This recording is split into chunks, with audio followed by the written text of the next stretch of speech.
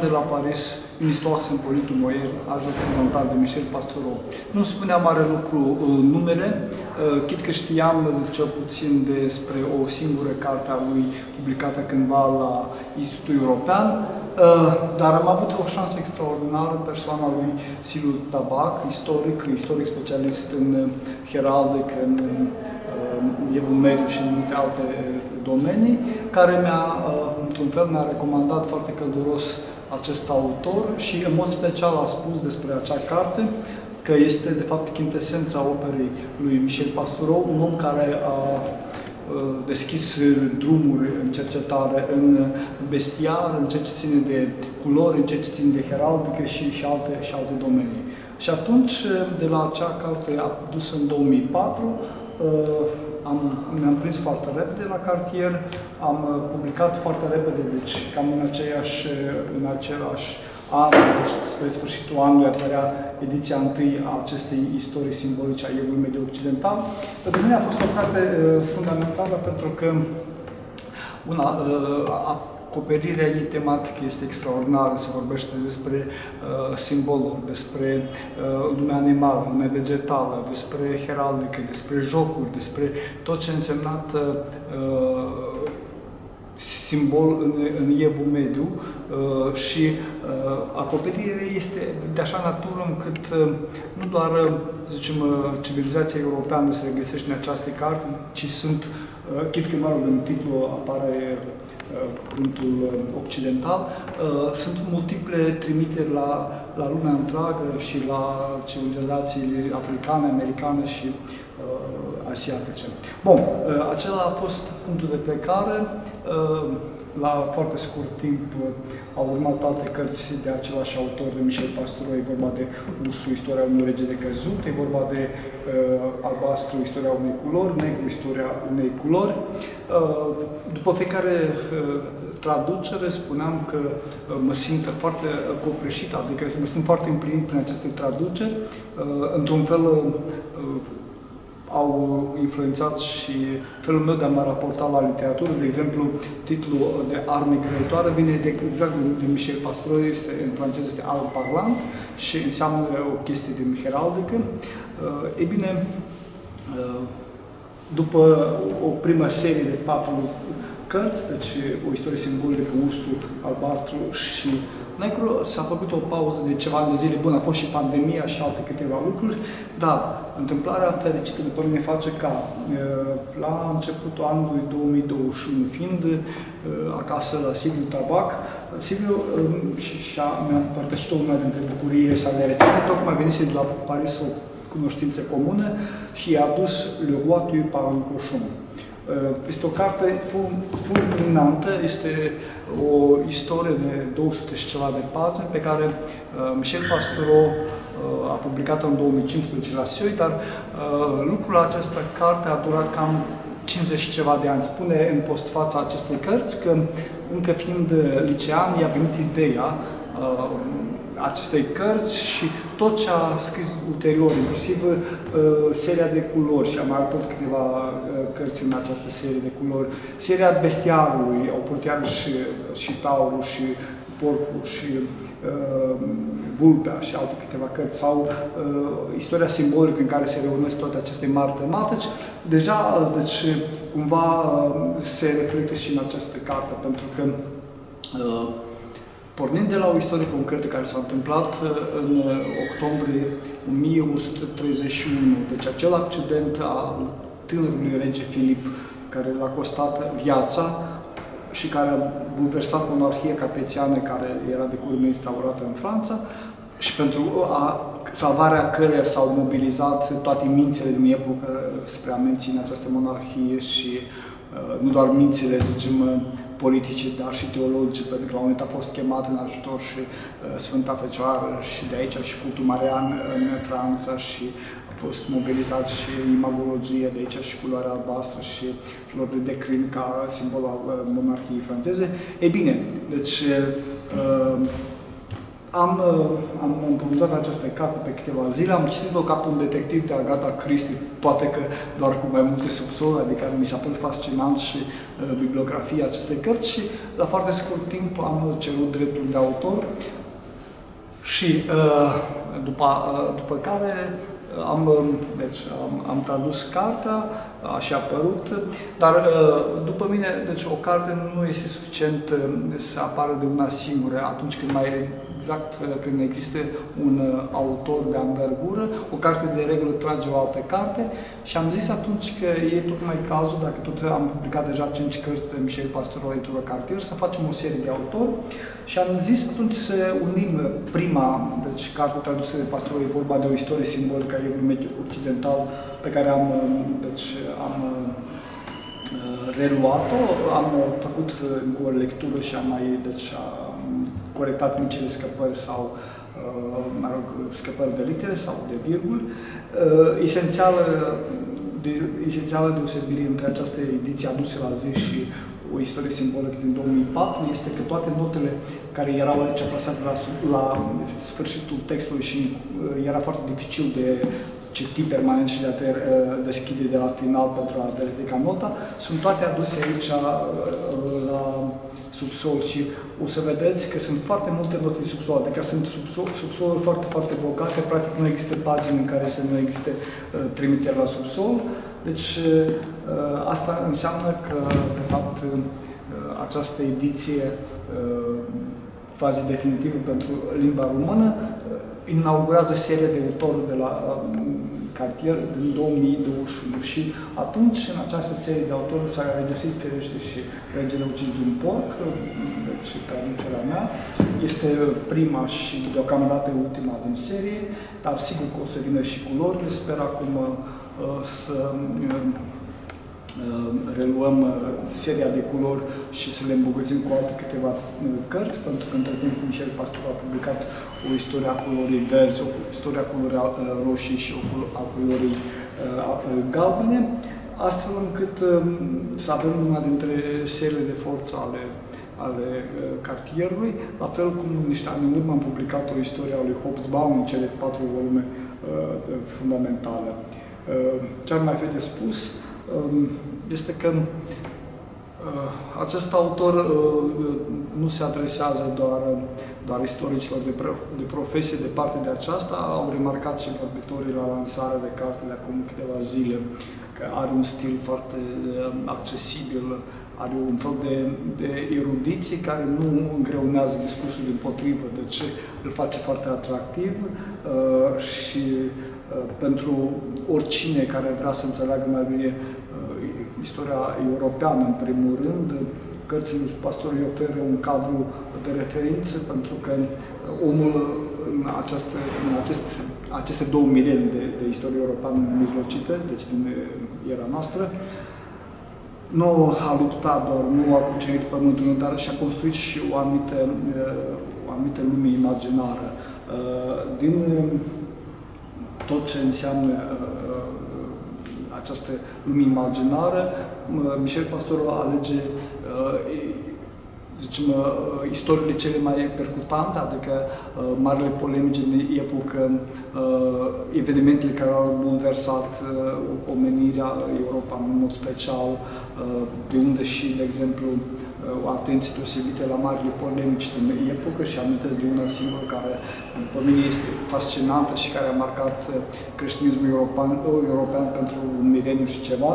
La 1130 și ceva, 1140 și, uh, exista această polemică extraordinară uh, și foarte tranșantă între abatele sujer de la Saint-Denis, care, pentru care um, culoarea era uh, lumină, veți și culoarea uh, deci te apropia de Dumnezeu și atunci ideea lui era că biserica trebuie să fie cât mai colorată, cât mai împodobită, uh, de unde și uh, investirea sa uh, și cheltuirea unor fonduri uriașe pentru ca toate bisericile și să denim primul rând după aceea și Notre-Dame de Paris și Chartres să fie înzestrate cu acele vitrare extraordinare pe care fac ca lumina să ducă la Dumnezeu. Pe de altă parte exista un, un alt, un altă minte extraordinară a creștinității la acea epocă. Este vorba de Sfântul Bernard, pentru care uh, culoarea era de fapt materie și pentru el, în concepția sa, culoarea obtura viziunea lui Dumnezeu, adică se, se întrepunea între uh, om și Dumnezeu și atunci uh, bisericile care se, cumva erau sub influența lui Sfântului Bernard uh, erau foarte ascetice, foarte austere, era doar piatra, era doar, mă rog, strictul necesar, fără niciun fel de... Sigur că această polemică a continuat în, în, în la rând, pentru că tot ce a însemnat, de exemplu, cromofilia lui abatului Sujar s-a manifestat în, biserici, în mănăstirile și bisericile cluniziene, tot ce a însemnat uh, deci, aderență la viziunea Sfântului Bernard s-a manifestat în bisericile cisterciene. Uh, pentru mine, cel puțin, uh, această, cum să zic, această mare dezbatere de idei, ce înseamnă culoarea materie sau lumină, este una care a fecundat gândirea artistică, în mod special uh, europeană, pentru că tot ce a însemnat uh, uh, creația, tot ce a însemnat pictura, mozaicul, vitrale, etc., a traversat cumva această, această polemică și un istoric de anvergura lui Michel Pastoureau fixează lucrul acesta și îl fixează în continuitatea lor, pentru că domnia sa nu se oprește doar la factologia deci, din acea epocă, în jurul fiecarei istorii întâmplate în Evul Mediu sau mai înainte, deci în Evul Mediu timpuriu, cum este cazul acestei cărți, în jurul fiecarei istorii, deci se construiește o lume a imaginarului care a funcționat în, în cazul respectiv, în cazurile respective și în acest fel, de fapt, uh, avem, uh, pe de-o parte, avem uh, o, o lume a evenimentelor concrete și avem o întreagă, un întreg constru, univers construit în jurul acestora. Pentru că, dincolo de, zicem, prezența noastră biologică în lume, omul este un construct cultural. Omul de foarte multe veacuri se raportează fie la dumnezeiri, la zei, la tot felul de zeități uh, creștini, păgâni, mă rog, asta mai puțin contează, iar uh, istoricii de, de acest gen urmăresc nu doar um, evoluția omului ca ființe, sau mai puțin ca ființe biologice, dar anume ca și construct cultural. Avem în cazul lui Michel Pastore și a scrierilor sale, de fapt o enciclopedie a omului european, uh, de cele mai vechi timpuri, pentru că, de exemplu, în cazul culorilor, el se merge până în Antichitate și vede cum se întâmplau, care erau culorile valorizante în Antichitate și care sunt acum. Uh, la fel și în cazul bestiarului, de exemplu, în cazul ursului, uh, vorbește despre ursul uh, din, încă din perioada lui Homer și a perioada grecească romană antică și pentru a, zicem, a formula o concluzie sau un îndemn, uh, aș zice că um, oricine uh, vrea să afle mai mult despre felul în care uh, povestim istoria, în felul în care poveștile cu ghilimele de rigoare din istorie, de fapt, modelează omenirea și fac ca această omenire să-și trăiască cumva asumată istoria, oricine deci caută acest lucru va găsi cu prisosință în, în operele lui Michel Pastoureau.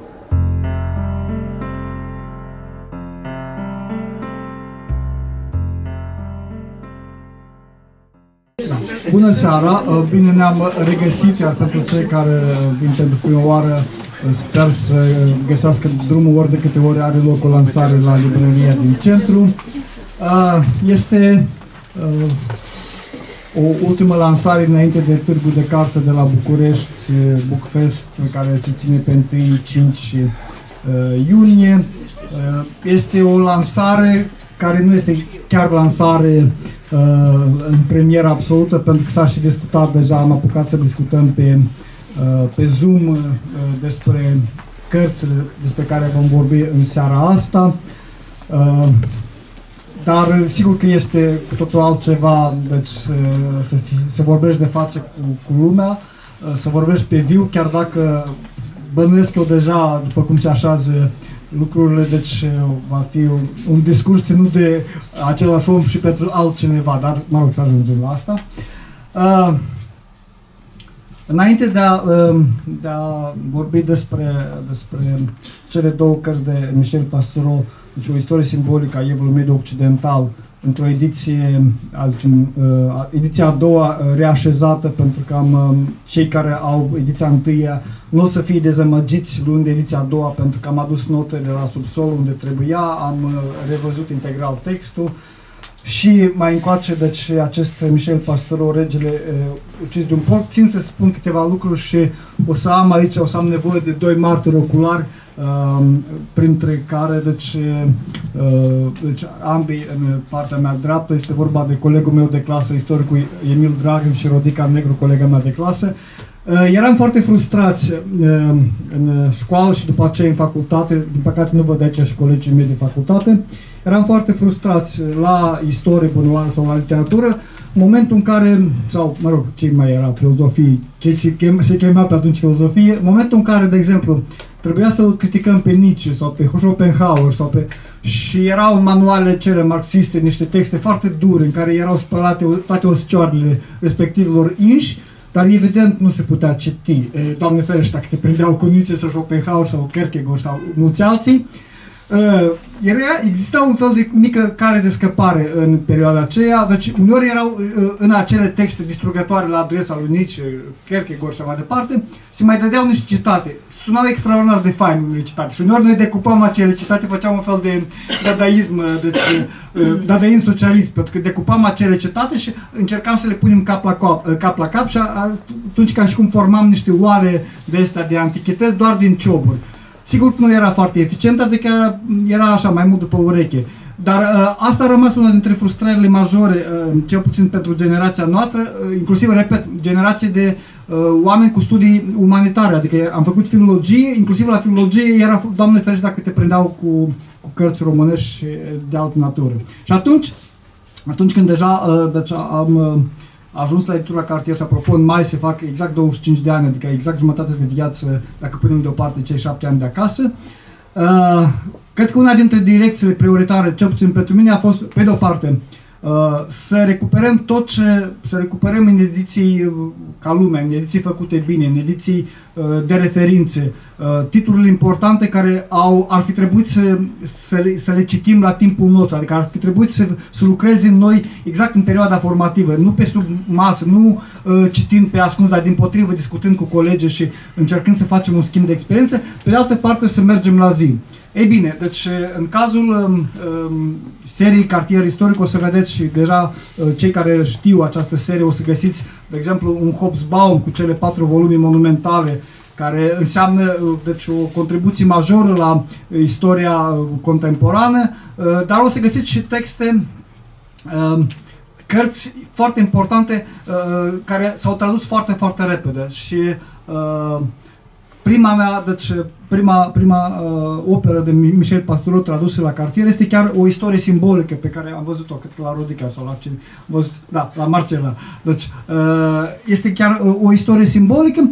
Ei bine, uh, cartea tocmai a apărut la, la Sioi în 2004. Uh, am avut, uh, cred că în septembrie, o, uh, pardon, în martie, o bursă la Paris. Am adus cartea și am avut foarte mare noroc uh, să, să am prieten și uh, de, de mulți, mulți ani pe acest domn care se numește Silviu Tabac și care nu este Michel Pastoro, deși are tot dreptul să stea pe acest scaun, pentru că Silviu uh, mi-a, deci a, a fost fascinat de carte, bun știa de ea, deci eu abia o dusesem de la Soi și Silviu a spus, mi-a spus foarte hotărât atunci că niciun caz nu se poate rata un autor de genul ăsta și tot ce a însemnat după aceea, toată această serie Michel Pastoro și suntem la, nota bene, suntem la uh, a, ce, a cincea traducere din Michel Pastoureau și bănesc că o să urmeze și, și altele câteva.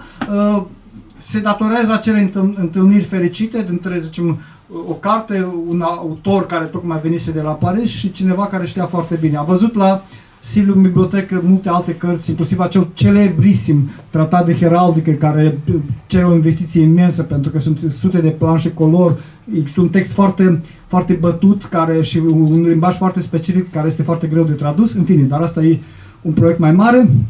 Uh, asta fiind spuse, am ținut să spun lucrul acesta pentru că uh, nu apare din întâmplare sau anumiți autori care marchează, zicem, profilul unei edituri nu sunt pur și simplu niște meteoriți care au trecut prin spațiul nostru intelectual și, mă rog, au, au aterizat, au aselenizat sau aterizat la noi. Acestea fiind spuse, uh, uh, trebuie să uh, vă cer o scuză pentru că unul dintre vorbitori tocmai elaborează legi. Este vorba de Virgil Pislariu, care este deci, responsabil pentru cartier istoric, dar au ședința Parlamentului și bănuiesc că au cea atât de importantă cât a mancat cu brio. Iar pentru deci, cealaltă vorbitoare, care este și o distinsă autoare cartier Varvara Buzilă, se pare că Barbara Busilă are un purtător de cuvânt care a fost și la, la uh, lansarea pe Zoom și la lansarea noastră, așa că o să rog tot pe, pe Silviu să citească textul Barbara Buzilă. Uh, nota bene nu este textul Silviu, Silviu va avea un cuvânt de spus pe final. Te rog. Uh, citești de picioare sau îți las microfonul? Stau, stau, stau, stau, Hai, te rog. Deci, nu este Barbara Buzilă. Pardon, nu este Silviu Tabac, este chiar Barbara Da, te rog, Bună seara și mă bucur să constat că experiențele noastre uh, sunt uh, similare, chiar dacă lucrurile de studii diferite. Acum uh, o să dau uh, citirii textului lui Varvara Buzilă, care mie îmi place foarte mult. Opera lui Michel Pastoureau este cel mai însemnat cadou pe care putea să mi-l facă un om necunoscut, dar foarte apropiat ca gândire necunoscut în sensul că nu ne-am văzut, nu am vorbit niciodată cu autorul și foarte apropiat, fiindcă îl cunosc și țin foarte mult la cărțile scrise de el, la cele pe care le-am citit. Întâi de toate, la cele apărute la editura Cartier. În 1987, în timpul examenului de limbă franceză, profesoara mi-a dat să traduc un fragment dintr-un articol semnat de Pastoureau, de altfel destul de complicat, dar și foarte captivant. Bine, în loc să mă concentrez la analiza gramaticală a segmentului indicat, am alunecat cu lectura departe de el printre file. Atunci l-am descoperit pe Michel Pastoureau și aproape că uitasem de sarcina primită. Am trecut cu bine examenul. E ca și Varvara au dat bine examen. Dar comparativ cu noi, cititorii, Emilian Galaicu Păun, traducătorul acestor două cărți discutate azi, o istorie simbolică a evului mediu occidental și regele ucis de un porc, Ă, ca și a celorlalte cărți apărute la editura Cartier, Ursul Albastru Negru, poate primi din partea noastră a cititorilor, dar și exegeților în domeniu, cea mai înaltă apreciere pentru transpunerea fidelă a lucrărilor lui Michel Pastoureau din franceză în limba română. Cred că este o mare șansă pentru noi toți de a avea acces la aceste cărți devenite de referință pentru cercetătorii din domeniul heraldicii, imaginarului social, semioticii și hermeneuticii și nu numai. Pentru noi, cititorii de semne și simboluri, căutători de sensuri acolo unde acestea sunt mai mult, multe sau mai puține, scrierile lui Pastoureau sunt o revelație totală, pentru că fac să rezoneze cu fapte, idei și concepte din perioade istorice fantastic de vechi, dar devenite uluitor de perceptibile prin limbajul abordat, cel al simbolurilor relaționale. Sigur, la prima vedere contează temele și viziunea prin care le tratează. În felul acesta, își află cititorii din diferite domenii ale sensibilului, istorici, heraldiști, semioticieni, hermeneuți, critici literari sau de artă. Să ai aceste cărți la dispoziție ori de câte ori ai nevoie, nu mai este un lux, ci o realitate culturală. Și câtă vreme cărțile nu stau prea mult pe rafturi, dar circulă din cititor în cititor, cum se întâmplă în mediul nostru, cred că avem și spațiul cultural necesar pentru a face relevante codurile culturale. Mă gândesc în acest context la studenții mei de altă dată, cu care identificam și interpretam simboluri, relații semnificante în contextul cursurilor pe care le țineam, semiotică, cultură și antropologia formelor simbolice, având la dispoziție prea puține cărți necesare formării. Acum, biblioteca de profil s-a completat esențial. Dincolo de cursurile universitare cu referire la domeniul gândirii simbolice, pe care nu o să le găsiți în programele analitice, țin să precizez că totuși există mai mulți destinatari ai acestei literaturi, după mine destul de potențați, ca, să, ca și capacitate de a lectura. Comunic adeseori cu tineri aflați în căutarea sensurilor diverselor simboluri. Mulți își doresc să le facă cunoscute pentru un public mai larg. Amintesc despre aceste tendințe în contextul promovării cărților lui Pastoureau.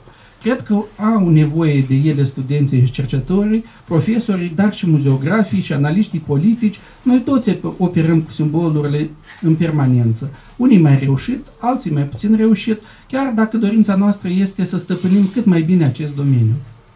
Consider că lucrările lui Pastorou sunt un bun ajutor pentru cadrele didactice căutătoare de surse excelente ca să trezească în discipol necesitatea de înțelegere și operare cu alte categorii mai eficiente în analizele și sintezele practicate.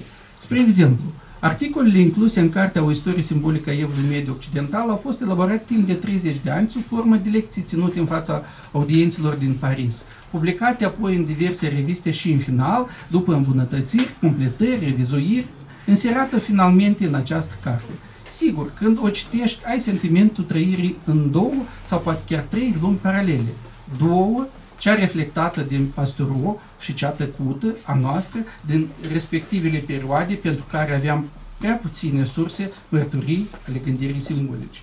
Trei, la prime două ne recordăm și cu cea a zilelor noastre, pentru care facem efortul inevitabil de a înțelege cât mai eficient tot prin limbajul simbolurilor, având ca reper un ghid al riscurilor, riscului simbolic, precum este cel oferit cu generozitate de către Michel Pastorov. Numim convențional risc simbolic acest proces pentru că și cele mai importante contribuții la cunoașterea lumii simbolice, la un moment dat nu fac altceva decât să ne facă să devenim parte din universul ei, nu cuceritorii, nu dominanții ei. Ea se va schimba imediat de cum credem că am descoperit ceva sigur din această uluitoare, captivantă și extrem de necesară valoare umană. Procesul, procesualitatea contează și locul omului în ea. Ca să mergem mai departe cu gândul, trebuie să admitem că relația este reciprocă. Și atunci ar fi bine să ne întrebăm dacă nu cumva ea se alimentează cu experiența și trăirea fiecăruia dintre noi. Cărțile lui Michel Pastoureau sunt luntre inteligente care ne conduc de la o insulă la alta a universului simbolic. Cu maximă considerație, Varvara Buzilă. Acum, dacă ar fi aici Varvara Buzilă, eu aș spune următorul lucru. Uh, pentru că de obicei uh, mă refer la ceva spus. Uh, spune la un moment Varvara Buzilă că în loc să fie atentă la gramatică și la traducere, a, a fugit înainte cu lectura pentru că era foarte captivată de text. Uh, între paranteze fie spus, uh, din experiența mea de, de a traduce cărți, în special de Pastro, uh, de fiecare dată mi-am interzis să, să, să alerg cu lectura înainte pentru că a a fost un foarte bun stimulent de a, de a traduce, de exemplu, 10 pagini pe zi și de a ști că abia traducându-le, deci le, le, le citești, adică le intri în text. Deși e evident că ești foarte tentat să alergi cu kilometri în față și să pui mâna pe, pe text cât mai repede.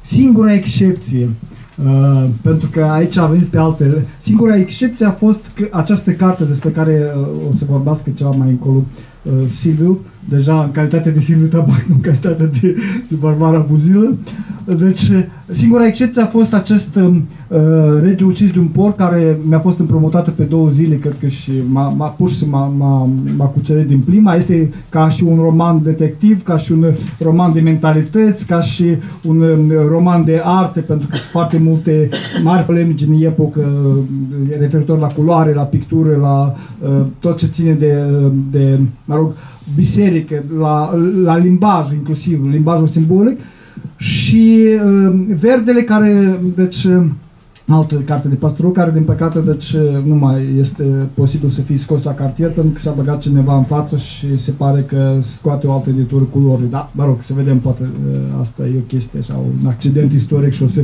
revenim la lucrurile normale. Bun. Uh, acestea fiind spuse, uh, Vreau să rog pe Siliu, care nu doar că a fost, uh, ca și în toate cărțile de Michel Pastoureau, a fost și relatul științific și vreau să vă mărturisesc că oricât de bine ai ști franceză, oricât de uh, subtil ai umbla la texte, dacă nu există un ochi care să pună la punct inclusiv uh, informația științifică. Mici detalii care unui ochi poate să-i scape, dar uh, un specialist sigur că trebuie să formuleze cât mai exact, pentru că, repet, nu este o carte, uh, nu este un roman, nu este o ficțiune, este un mare, mare istoric contemporan, deci uh, și acum, deci uh, rog pe, pe Silviu care, mă rog, uh, cu cinci, cu istoria sau cu ce regele. Început. Hai, te rog. Nu uiți chestia ce... Da, te rog, asta e la comanda publicului. Planul meu din seara asta era că um, Virgil va povesti ceva despre uh, regele ucis de un porc, Varvara va spune ceva despre istoria simbolică, iar eu uh, voi încununa discursurile cu elemente despre viața și uh, neînlocuibilitatea lui Pastoro în mediul nostru, uh, terminând cu niște bonusuri glorioase pe care le-am pregătit să le scot din mânică.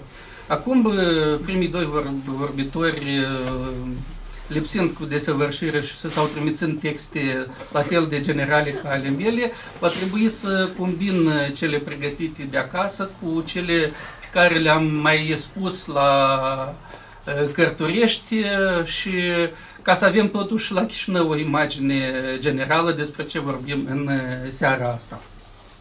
O să sar peste anumite chestii, dar altele o să le spun așa cum, cum, cum îmi propun eu însumi. Opera cercetătorului istoric medievist francez Michel Pastoureau este ușor de citit și promovat, deoarece ea face parte din fondul de aur al istoriografiei contemporane universale, autorul rămânând mereu plin de idei și mereu văzând cu ochii minții mai adânc și cu mult înainte asemenilor valoarea unor surse istorice medievale, aparent cunoscute și interpretate deja. Prin cercetările, cursurile universitare și publicațiile sale, a contribuit la schimbarea viziunii generale asupra lucrurilor pe trei direcții mari. A început cu cercetarea bestiarului medieval. După studiile universitare de arhivist paleograf făcut la Ecole de Chartres, în 1972 susține o teză de doctor asupra temii bestiarul heraldic medieval și își dezvoltă cercetările studiind raportul dintre animal și uman în evul mediu. Din această cercetare au crescut o sumedenie de alte lucruri materializate în două lucrări generale, Bestiarul Evului Mediu și Animalele celebre, și un, numeroase alte volume dedicate unor reprezentanți ai faunei aparte, ursului, porcului, lupului, taurului sau corbului, dacă e să ne referim doar la cărți întregi. Cea de-a doua, din punct de vedere cronologic, direcție de cercetare a lui Pastor dar prima ca importanță teoretic pentru știința și arta heraldică au constituit-o studiile originilor blazonului în baza surselor primare, steme, sigilii, drapele, etc., și secundare, armoriale, piese de arhitectură sau de mobilier armoriate, etc., publicate și inedite, în vederea realizării tezei de doctor de stat. Din punct de vedere istoriografic, Pastoros s-a bazat pe tradiția precedentă a istoriei heraldice critice din secolul al XX-lea, mergând pe urmele unor heraldici de marcă, cum a fost englezul Arthur uh, Charles Fox Davis, elvețianul Donald Lindsay Galbraith, germanul Otfried Neubecker și alții, ale căror contribuții generalizatoare pe post de tratat și în același timp de manual au fost editate și reeditate în secolul al XX-lea. Efortul lui s-a materializat în celebrul tratat de heraldică, care a văzut lumina tiparului în 1979, ajungând în 2008 la a cincea ediție. Pastoro a reușit nu numai să sintetizeze ideile pertinente ale înaintașilor și să le expună într-o formulă actualizată și foarte clară, ci și să prezinte arsenalul de surse heraldice într-o soluție teoretică și artistică absolut modernă, punând un punct mare și spectaculos istoriografiei heraldice critice de mai bine de un secol, care a reabilitat și reanimat chiar știința și arta heraldică aflată pe cale de dispariție pe la cumpăna secolelor 19-20. Din această cercetare teoretică au izvorât alte diverse lucrări ale acelui autor legate de terminologia și descrierea heraldică, arta heraldică, emblematică, sigilografie, vexilologie, uniformologie, etc., contribuții care au promovat heraldica drept regină a științelor semiologice, iar tratatul său de heraldică rămâne în continuare pentru specialiști cea mai pertinentă, cea mai elaborată și cea mai utilă lucrare sintetică asupra istoriei științei și artei blazonului, căci de la apariția lui n-au mai fost propuse lucrări la fel de ample și importante cu caracter universal. În sfârșit, cea de-a treia mare direcție de cercetare a lui Michel Pastoureau, cea care este și cea mai dragă sufletului lui de artist, o constituie istoria antropologică a culorii. A izvorât dintr-o altă cercetare simbolico-heraldică pornită de la istoria stofilor, mai ales a stofilor neuniforme, cu desen în linii sau semănat cu piete de altă culoare, și care l-a îndreptat spre istoria culorilor în sine și a vopsirii stofilor. Din fragi de copilărie, după cum rezultă din jurnalul său, pastorul a fost foarte atent la culorile care îl înconjurau. Cărțile de artă ale tatei, etichetele codificate coloristic ale medicamentelor din farmacia mamei, vestimentația oricui, camarazi de joc sau școală, prieteni de familie, profesori, sportivi, muncitori, orice om din stradă, din presa color sau de la televizor, au fost întotdeauna prilejuri de analiză a culorilor și mai ales a vestimentației. În mintea sa, fiecare om se asocia cu o culoare sau o nuanță anume, la fel ca și fiecare anturaj în care se regăsea.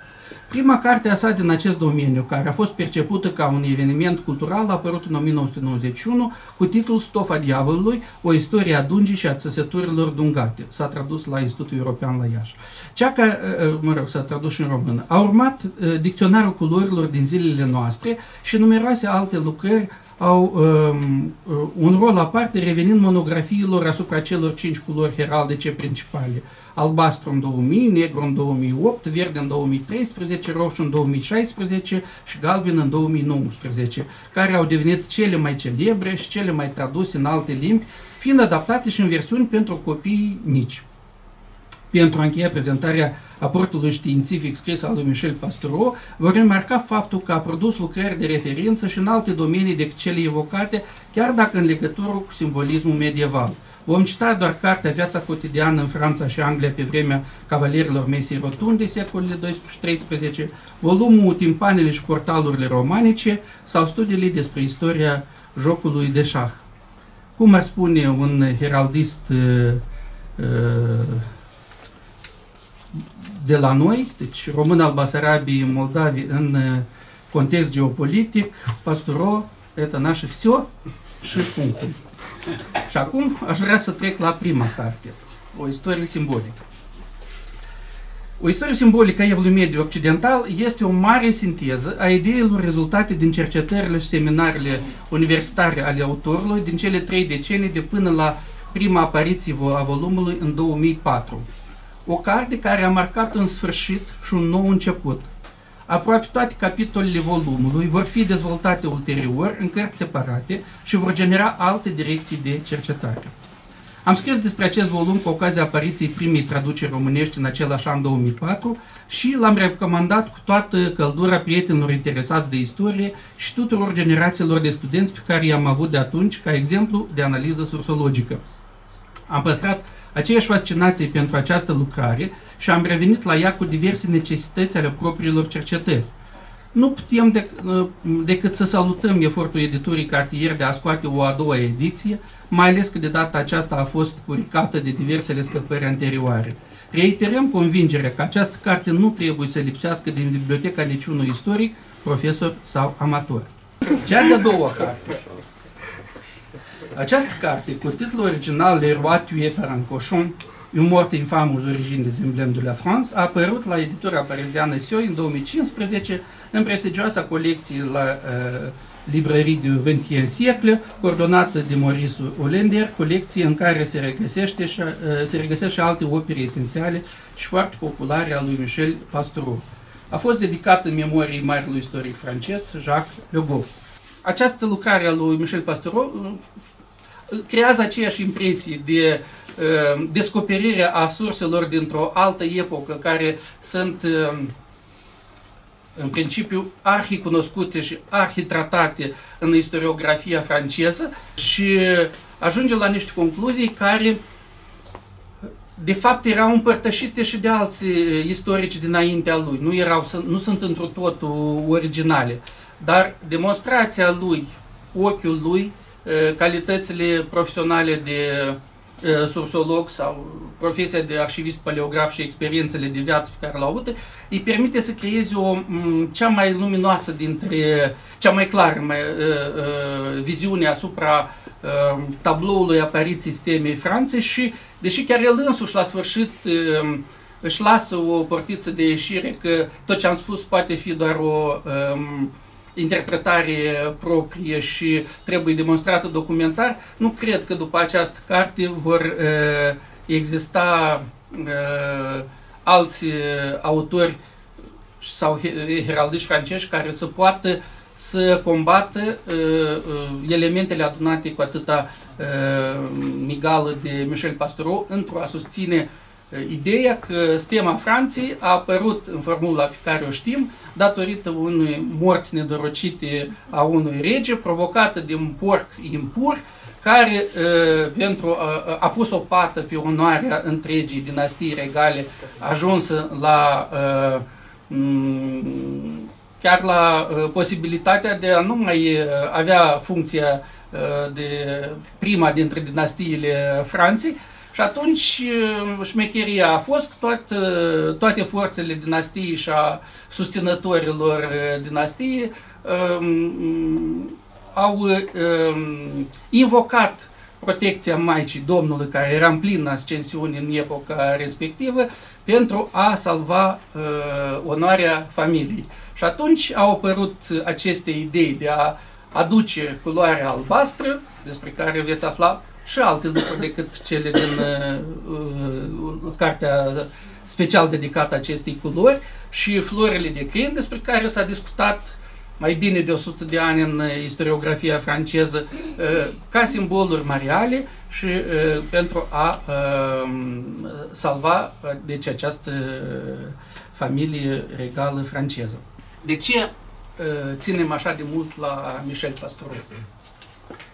A fi un um, istoric um, talentat nu este o raritate. Plin lumea de istorici talentați, inclusiv și la noi în țările române avem destui la care să ne aliniem.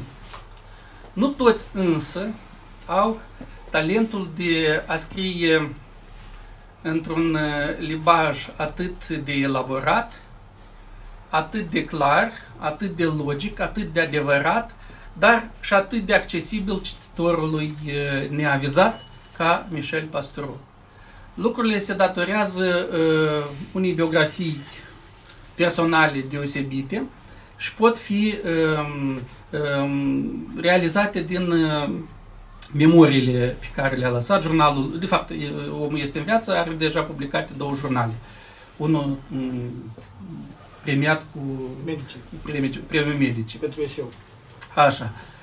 Noi, ca să avem o impresie, sunt mai mulți istorici printre noi, deci Pasturos scrie cam așa cum scria un Pepe Panaitescu la noi, de exemplu.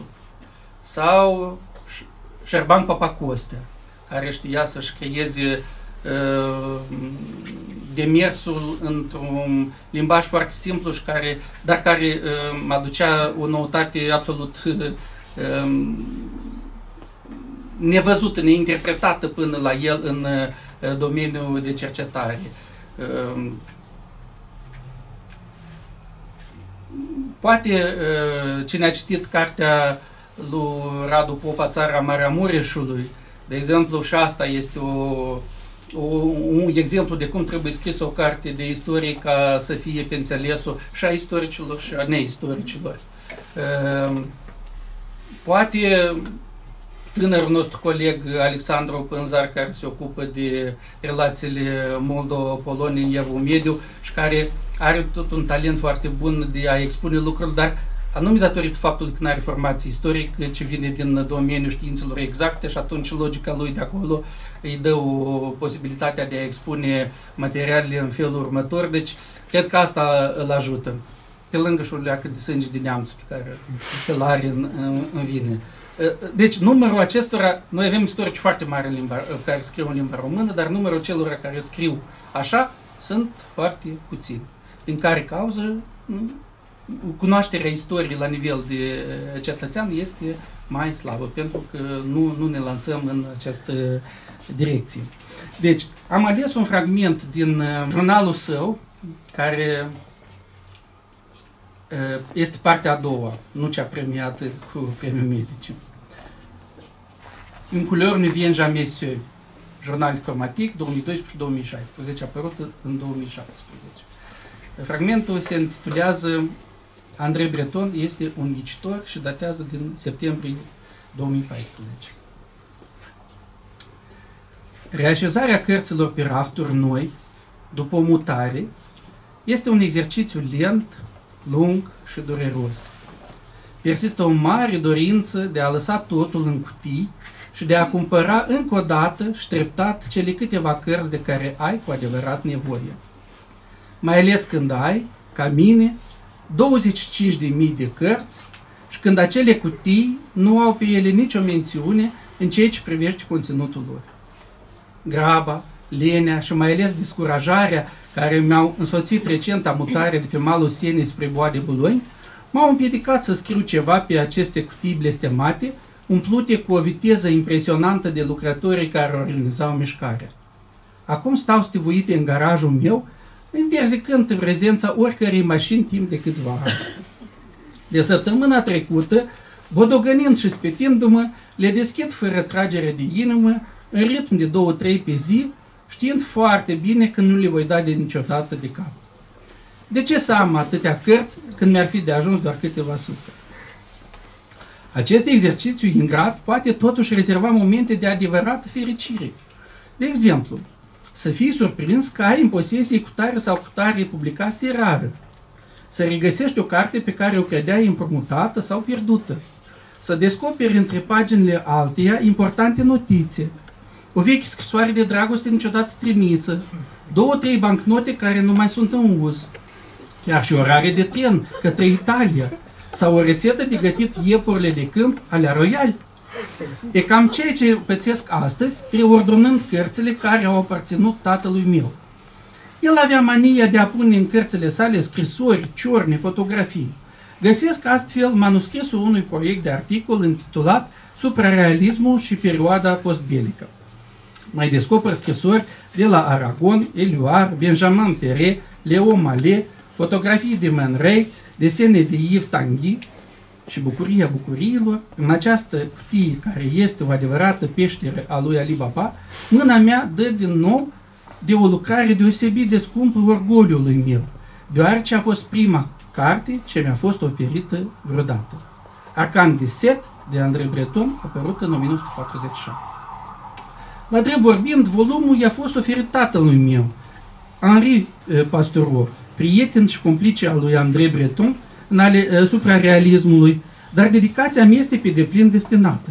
A fost scrisă chiar în ziua în care m-am născut, 17 iunie 1947.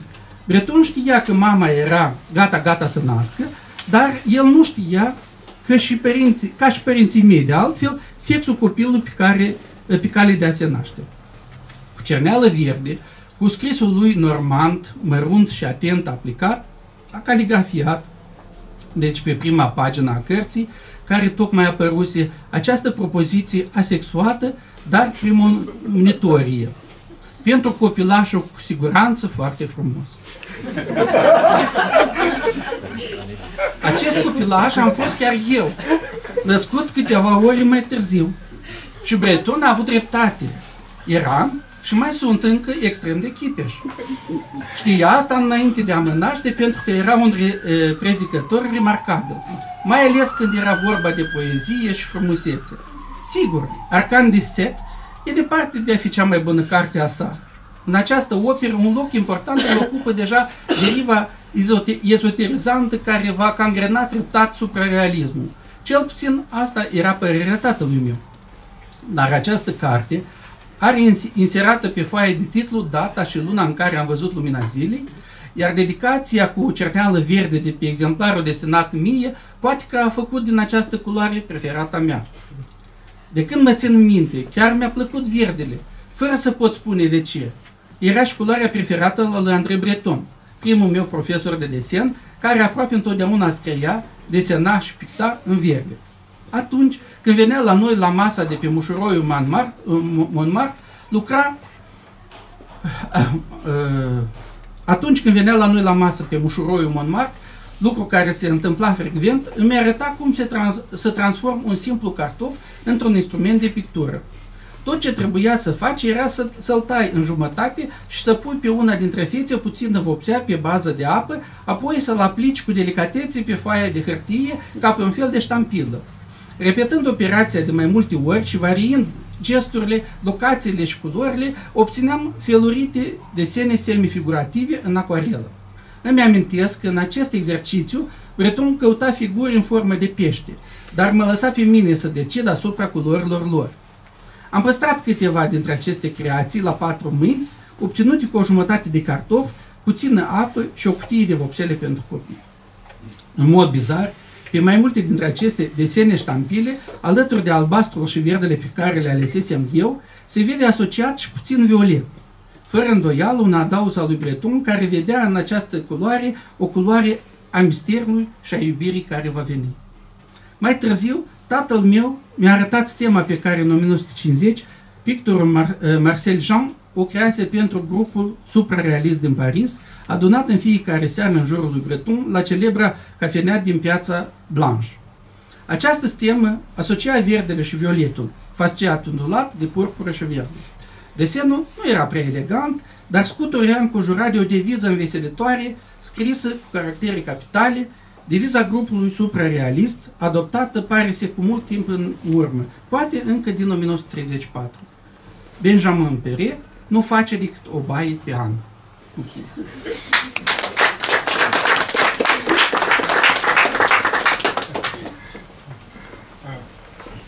Nici nu speram să avem pe pastorul printre noi, dar uite că Silvul l-a adus și uh, a fost purtătorul cuvânt, de cuvânt nu numai al Barbarei Buzil, ci și al lui pastorul. Nu știam de textul ăsta, cred că este mult mai recent, așa? Da, aici un ultimul. Aha. Bun, și cred că l-ai tradus tu. Da, mulțumesc. Deci avem un concurent la capitolul traducător din pastorul. Uh, eu trebuie să... Da, am un minut să spun câteva cuvinte de încheiere. Uh, dacă mă gândesc bine la numărul de pagini eh, pe care le-am tradus de Michel Pasturo, cred că sunt peste 2000 de pagini, cred că ar trebui să semneze Emilian Galai cu Pasturo, pentru că în mod sigur că am scris, tradus mult mai multe pagini decât am scris ale mele. Nu-mi pare rău de asta, din potrivă, cred că este una dintre marile achiuri ale vieții mele. O să spun doar o singură chestie apropo. Da, asta.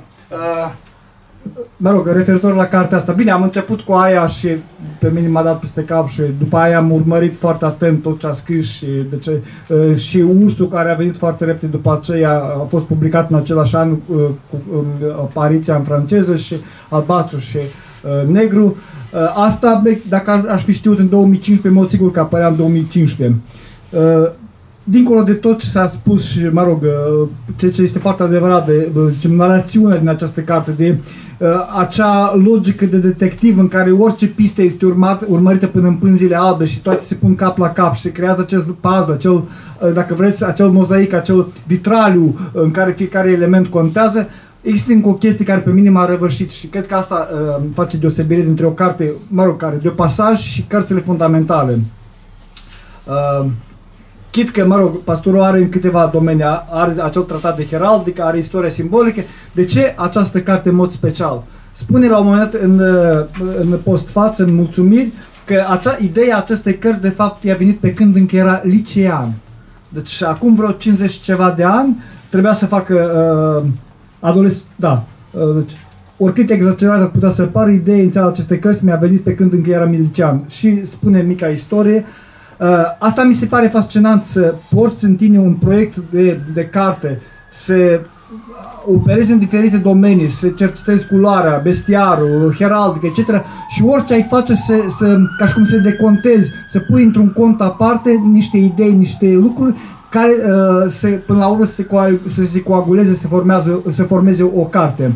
Uh, acum, uh, riscând să uh, cum să spun, să trag cenușa către ultima turtă, aceasta, zic că, chit că este, repet, autorul tratatului de heraldică, o istorie simbolică, dar într-un anumit fel, în fel, dacă vreți, un fel trecut prin, prin ființa lui, cred că asta este cartea lui, vă rog, cum am spus noi, cartea lui de suflet, dar cartea lui cea mai, cea mai lui, pentru că este Uh, și o sinteză din toate celelalte cărți. Deci veți regăsi, de exemplu, scroafa din falez din istoria simbolică, veți găsi și aici. Veți găsi, regăsi procesele animalelor, veți regăsi uh, marile polemici din epocă și o să închei, uh, dar mâine o să o spun mai, mai pe o să, închei, o să închei uh, doar pomenind de, uh, mă rog, de, de ce ce a urmat acelei, acelei uh, morți infame.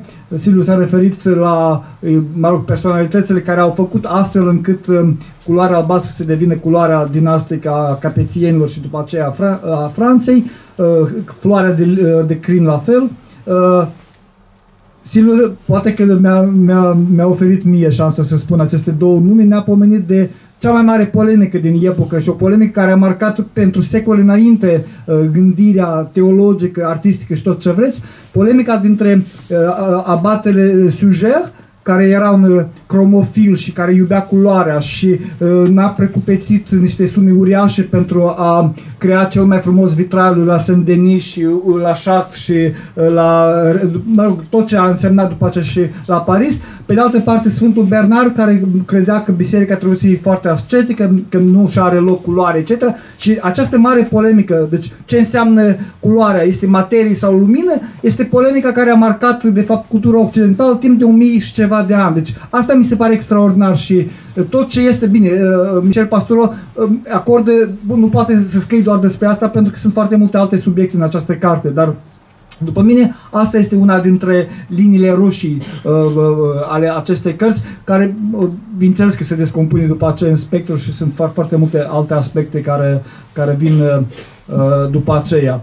Uh, o să spun și eu, uh, repetind ce a spus Silviu, că dincolo de uh, zicem, partea adresată specialiștilor, uh, această, aceste cărți, de fapt, că eu le văd oricum în, într-o legătură, mă rog, pe care nu doar semnătura autorului formează, dar și transferul de teme sau reluarea unor teme și amplificarea lor, cred că este una dintre cărțile care te, poate să-ți marcheze pe, pe o viață conștiință. Adică sunt niște lucruri spuse cu atâta claritate, atât de exact formulate și într-o logică care îți, uh, îți creează universul din jur sau îți recrează. Pentru că dincolo de ființele noastre biologice, noi suntem de fapt niște produse culturale și uh, imaginarul face parte nemijlocit de, de fapt din viața noastră și din viața noastră materială și tot ce vedeți aici și inclusiv tare m-a, m-a amuzat felul în care așează uh, Michel, ăsta, tatălui pastorul așează cărțile pe raft sau Michel pastorul de fapt cărțile tatălui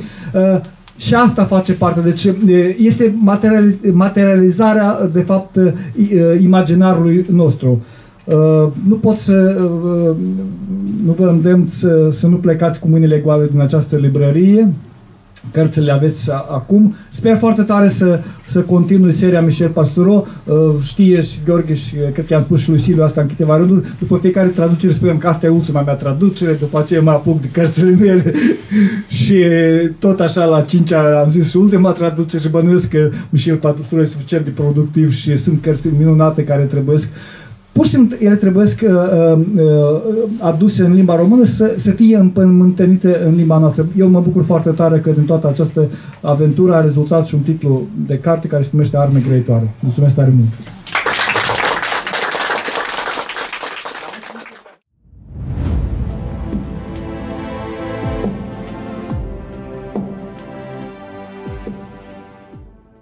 Fabula este uh, unul dintre cele mai culte genuri literare, pentru că uh, toate animalele din fabule nu sunt pur și simplu uh, cele luate de pe câmpuri sau de pe din mediul, din păduri, din mediul natural.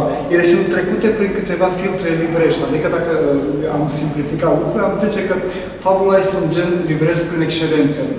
Uh, mai uh, o idee și mai dezvoltată uh, acestei, mă rog, atitudini, acestei viziuni, o găsim la, la Michel Pastoureau, care este un foarte mare istoric francez, probabil uh, între medieviști, este un fel de papă, ceilalți fiind cardinali și arhiepiscop și așa mai departe. Uh, Michel Pastoureau, care este considerat un anim cel mai important uh, specialist în heraldică, dar și în bestiar și în culori.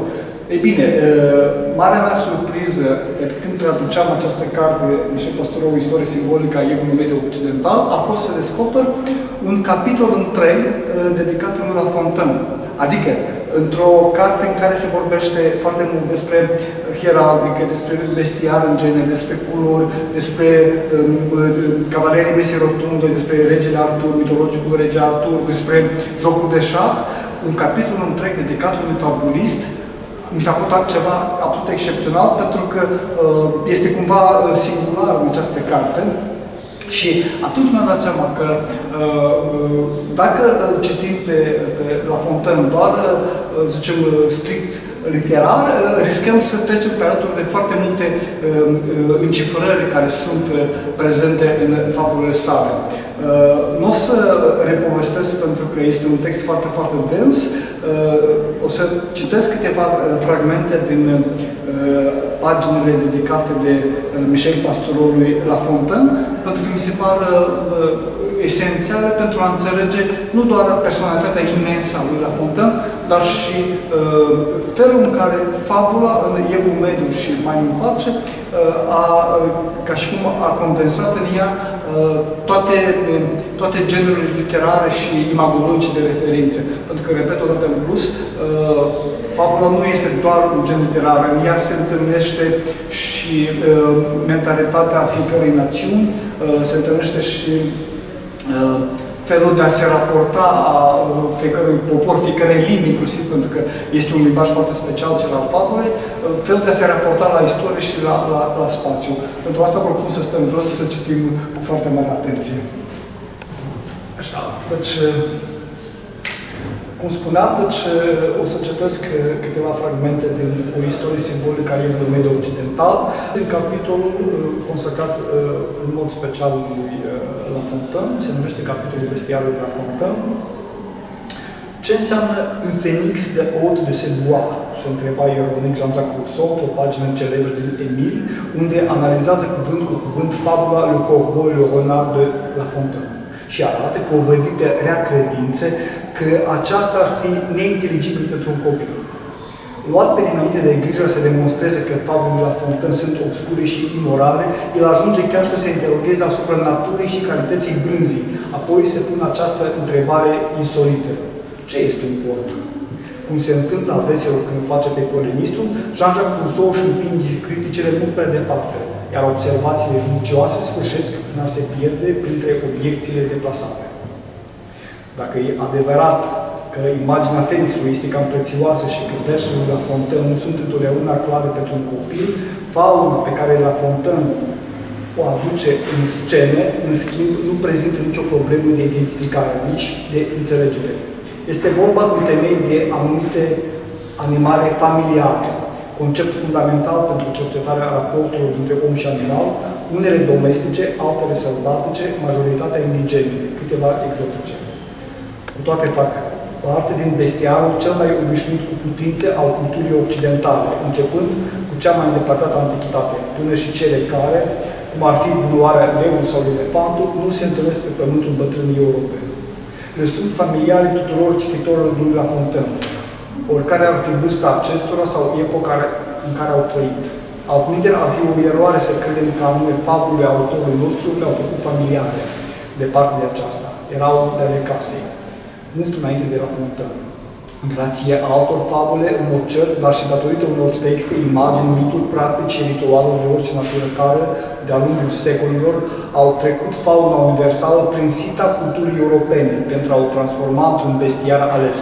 Proverbele, antroponimia și heraldica, pentru a ne limita doar aceste trei exemple, sunt domenii care, ca și fabule și poveștile, iar uneori împreună cu ele au contribuit la șlefuirea acestui bestiar. La un moment dat, iarăși în cultura europeană, a fost o mare concurență între două animale heraldice care se regăsesc plenar și foarte frecvent în opera lui La Fontaine. Pe de parte este vorba de Aquila, pentru că era și emblema Imperiului Germanic și alte case importante, deci și-au luat drept blazon Aquila și pe de altă parte Leul. Foarte curios cum la Fontaine, în principiu, le face aproape parte egală, pentru că sunt printre cele mai frecvente animale heraldice. Și uh, asta spune foarte mult despre felul în care, uh, prin anumiți autori și mai cu seamă probabil prin, prin fabuliști, de fapt, epoca vorbește.